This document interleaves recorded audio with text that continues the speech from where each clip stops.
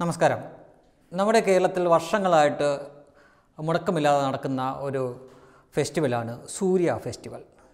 കഴിഞ്ഞ ദിവസം ആ സൂര്യ ഫെസ്റ്റിവലിൽ ഒരു ടോക്ക് ഷോ ഉണ്ടായിരുന്നു. ആ ടോക്ക് ഷോയുടെ വിഷയം ന്യൂ ഇന്ത്യ എന്നാണ് പുതിയ ഇന്ത്യ. ആ വിഷയത്തെ അധികരിച്ച് ബി ജെ പിയുടെ യുവ നേതാവും വക്താവുമായ സന്ദീപ് വാര്യർ ഒരു അത്യുഗ്രൻ പ്രസംഗം നടത്തിയിരുന്നു. ആ പ്രസംഗം ഒന്ന് കേട്ടു നോക്കുക. തൊണ്ണൂറുകൾക്ക് ശേഷം വന്ന രണ്ട് പതിറ്റാണ്ടിലധികം നീണ്ടു നിന്ന ഒരു പ്രതിസന്ധി ഇന്ത്യയെ ഗ്രസിച്ചു. അതെന്ന് പറയുന്നത് സഖ്യകക്ഷി രാഷ്ട്രീയമായിരുന്നു എന്തൊക്കെ റിഫോംസ് കൊണ്ടുവരാൻ ശ്രമിച്ചാലും എത്ര തന്നെ പരിഷ്കരണം കൊണ്ടുവരാൻ ശ്രമിച്ചാലും സഖ്യകക്ഷി രാഷ്ട്രീയം എന്ന് പറയുന്നത് ഈ പരിഷ്കരണ ശ്രമങ്ങളെ പുറകോട്ടടിച്ചിരുന്നു.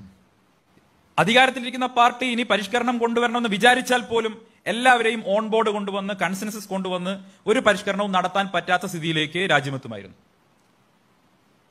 ആവറേജ് രണ്ടര വർഷം മാത്രം പ്രായമുള്ള ഒൻപത് സർക്കാരുകളാണ് ഇത്രയും കാലത്തിനിടയ്ക്ക് ഇന്ത്യയിൽ വന്നുപോയത് രാഷ്ട്രീയ അസ്ഥിരത നിക്ഷേപങ്ങളെ വലിയ തോതിൽ ബാധിക്കും. നമുക്ക് എല്ലാവർക്കും അറിയാം. ലോകത്തെ എല്ലാ രാജ്യങ്ങളിലും അങ്ങനെയാണ്. രാഷ്ട്രീയമായി അസ്ഥിരതയുള്ള സ്ഥലങ്ങളിൽ നിക്ഷേപത്തിന് വ്യവസായികൾ മടിക്കും.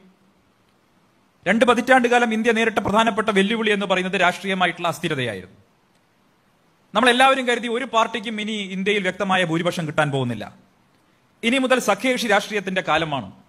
ഇനി മുതൽ രാജ്യത്തിന് ചെറുകിട പാർട്ടികളെ ഉൾക്കൊള്ളാതെ മുന്നോട്ട് പോകാൻ കഴിയില്ല.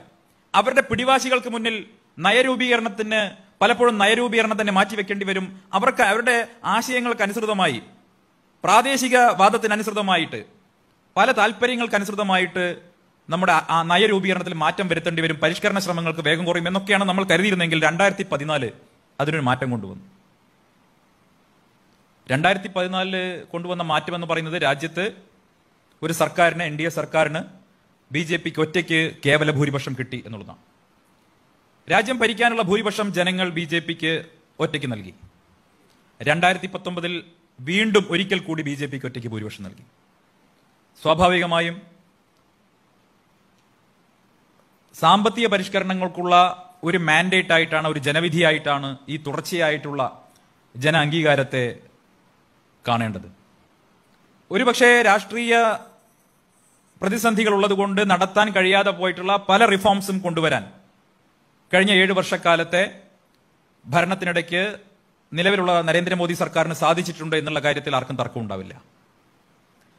മറ്റ് മുന്നണികൾക്ക് അതല്ലെങ്കിൽ മുൻപ് ഭരിച്ച ആളുകൾക്ക് നടത്താൻ കഴിയാതെ പോയ നടപ്പാക്കാൻ കഴിയാതെ പോയിട്ടുള്ള രാഷ്ട്രീയമായിട്ടുള്ള പ്രശ്നങ്ങൾ കൊണ്ട് നടപ്പാക്കാൻ കഴിയാതെ പോയിട്ടുള്ള നിരവധി കാര്യങ്ങൾ ഈ സർക്കാരിന് ചെയ്യാൻ സാധിച്ചിട്ടുണ്ട്. ഈ സർക്കാർ വന്നതിന് ശേഷം രണ്ടായിരത്തി പതിനാലിൽ ഞാൻ ആലോചിച്ചിരുന്നു എങ്ങനെയായിരിക്കും മോദിജി സർക്കാരുമായി എന്തൊക്കെ മാറ്റങ്ങളായിരിക്കും രാജ്യത്ത് കൊണ്ടുവരാൻ പോകുന്നത്. അദ്ദേഹത്തിന്റെ ആദ്യത്തെ ഡിസിഷൻ വാസ്തവത്തിൽ എന്നെ ഒന്ന് ഒരു പൗരൻ എന്നുള്ള നിലയ്ക്ക് അഭിമാനബോധമുയർത്തി രണ്ട് ഇതൊരു വലിയ മാറ്റമാണല്ലോ എന്നുള്ളൊരു ചിന്തയുണ്ടായി. എന്തായിരുന്നു ആദ്യത്തെ തീരുമാനം? അതൊരു പോളിസി ചേഞ്ച് ആയിരുന്നു. വളരെ ചെറിയൊരു തീരുമാനം വളരെ ചെറിയൊരു തീരുമാനം. വേണമെങ്കിൽ ഏതൊരു സർക്കാരിനും എടുക്കാമായിരുന്ന ഒരു മിനിറ്റിൽ എടുക്കാമായിരുന്ന ഒരു തീരുമാനം അദ്ദേഹം ചെയ്തു. ആ തീരുമാനത്തിന്റെ എൻ റിസൾട്ട് എന്ന് പറയുന്നത് ഏറ്റവും വലിയ ഏറ്റവും പോസിറ്റീവായിരുന്നു ആ ചെറിയ തീരുമാനം എന്ന് പറയുന്നത് നമുക്ക് എല്ലാവർക്കും അറിയാം പത്താം ക്ലാസ് ഒക്കെ കഴിഞ്ഞാൽ നമ്മൾ എല്ലാവരും ചെയ്തിരുന്ന പരിപാടി എന്താണ്? എസ് എൽ സി ബുക്ക് എടുത്ത് കുറെ ഫോട്ടോ കോപ്പി എടുത്ത് ഏതെങ്കിലും ഗസറ്റഡ് ഓഫീസറുടെ കാരുണ്യത്തിന് വേണ്ടി സർക്കാർ ഓഫീസിന് മുന്നിൽ കാത്തിരുന്ന ഒരു കാലം ഉണ്ടായിരുന്നു. അറ്റസ്റ്റേഷൻ സർക്കാർ ഉദ്യോഗസ്ഥന്റെ പച്ചമഷി ഒപ്പുണ്ടെങ്കിൽ മാത്രമേ പൗരനെ വിശ്വസിക്കൂ എന്ന നിലപാടിൽ നിന്ന് ഇന്ത്യ സർക്കാർ ആദ്യമായി മാറി രണ്ടായിരത്തി പതിനാലിൽ നരേന്ദ്രമോദി സർക്കാർ ചെയ്തിട്ടുള്ള ഏറ്റവും ചരിത്രപരമായിട്ടുള്ള പൗരനെ വിശ്വസിക്കുക എന്നുള്ള തീരുമാനം അതായിരുന്നു. സെൽഫ് അറ്റസ്റ്റേഷൻ മതി ഇനി മുതൽ. എന്തെങ്കിലും പ്രശ്നം വരുമ്പോൾ അപ്പം അന്വേഷിക്കാം.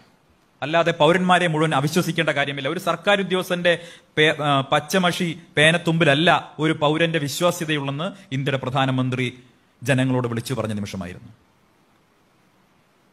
എന്തുകൊണ്ടായിരിക്കും അദ്ദേഹം അറ്റസ്റ്റേഷൻ സെൽഫ് അറ്റസ്റ്റേഷൻ എന്ന തീരുമാനം എടുത്തത്? അത് കുറെ കഴിഞ്ഞിട്ടാണ് നമുക്ക് മനസ്സിലായത്.